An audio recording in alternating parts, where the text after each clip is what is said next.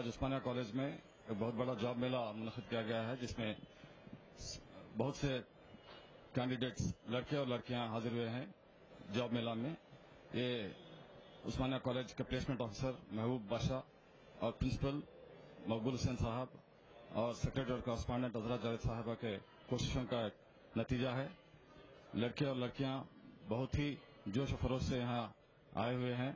یہاں پہ بارہ سے تیرہ کمپنیاں M N C Amazon Flipkart Vysya bank Karur Vysya bank جیسے بڑے بڑے ایم این سی آئے ہوئے ہیں۔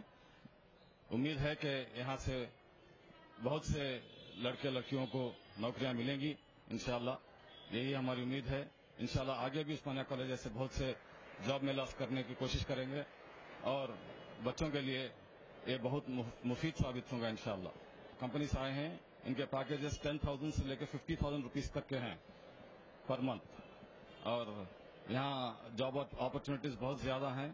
بچے بچوں کو صرف کمیونیکیشن سکلز اور انالیٹیکل سکلز میں ماہر ہونا چاہیے، جس سے کہ ان کا مستقبل انشاءاللہ بہت سنہرا رہے گا۔ ایجوکیشن کوالیفکیشن ٹینتھ سے پی جی تک۔